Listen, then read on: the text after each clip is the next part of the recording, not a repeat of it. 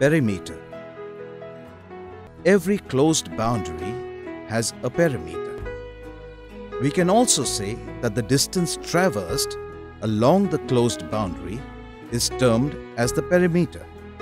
For a closed boundary, the starting and ending points are the same. For instance, for this figure, we start from the point S called the starting point, traverse along the boundary edges and reach the ending point E that coincides with the point S.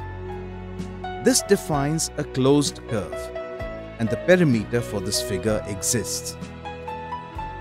But in case the ending point E does not coincide with the starting point S, the traversed boundary defines an open curve and hence a perimeter does not exist. One should also understand the area of interest and move only along the periphery of the desired area. This will define the desired boundary and hence the desired perimeter.